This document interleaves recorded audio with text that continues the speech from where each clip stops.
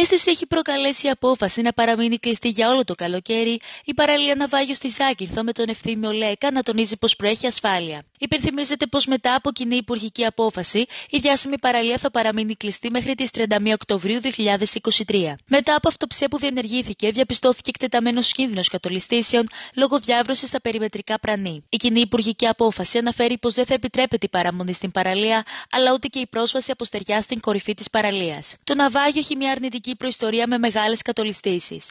Οι κατολιστήσεις δεν είναι αρνητικό φαινόμενο. Από τις δραχώδει μάζες που ρέουν, τροφοδοτείται στην παραλία με το υλικό, ώστε να υπάρχει ισορροπία μεταξύ των μαζών που κατολισταίνουν και της διάβρωσης που υφίσταται από το κύμα.